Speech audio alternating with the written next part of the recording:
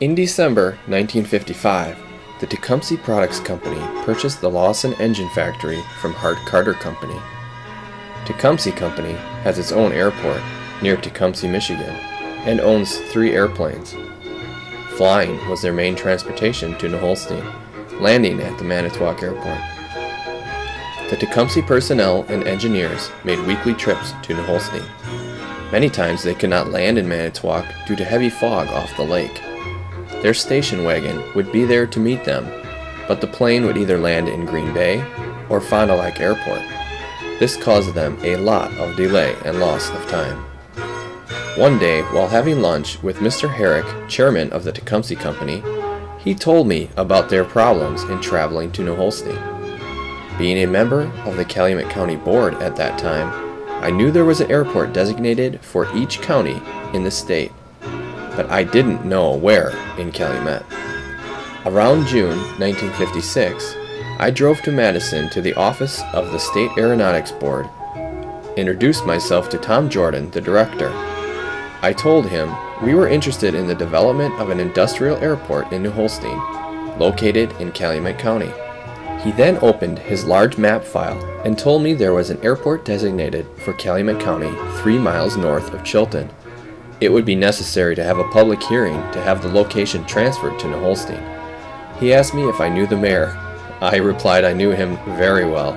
He was my brother. Mr. Jordan suggested the mayor appoint a committee of four, including the mayor, to proceed with the matter.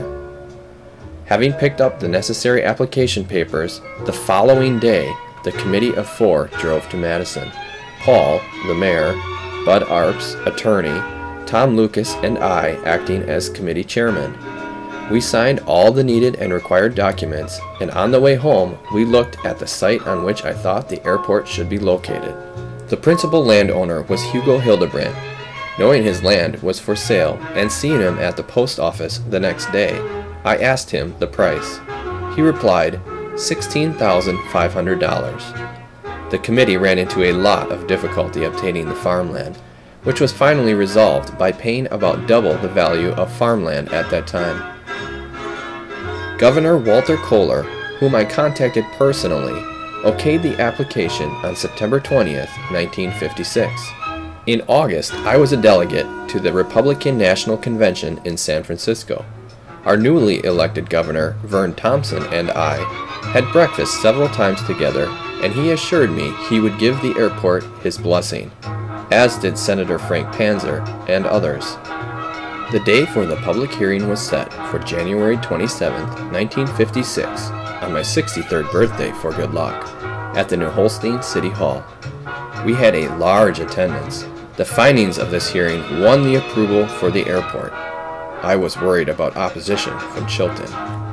The cost of the airport was estimated at $160,000, one half to be paid by federal funds, 25% by state, and 25% from New Holstein. Tecumseh paid five-sixths of this. Tom Jordan, attending a dinner in New Holstein, told the audience that I came to his office and asked for an airport as though I was buying 10 pounds of sugar. After we started on the runways, everything bogged down, including the funds. In January 1958, I flew to Washington, D.C., having contacted Mel Laird in advance, met him for a few drinks and conversation and the next morning we visited the office of the Civil Aeronautics Board. There I was introduced to Jim Durfee. I recognized him immediately, and he called me Adolf. Attorney Jim Durfee practiced law in Antigo, Wisconsin. Jim Durfee got things humming, and Tim Jordan phoned and accused me of going around his back. Jim Durfee said he would be happy to come to Holstein for the dedication, providing we would get Hildegarde Sell to attend also.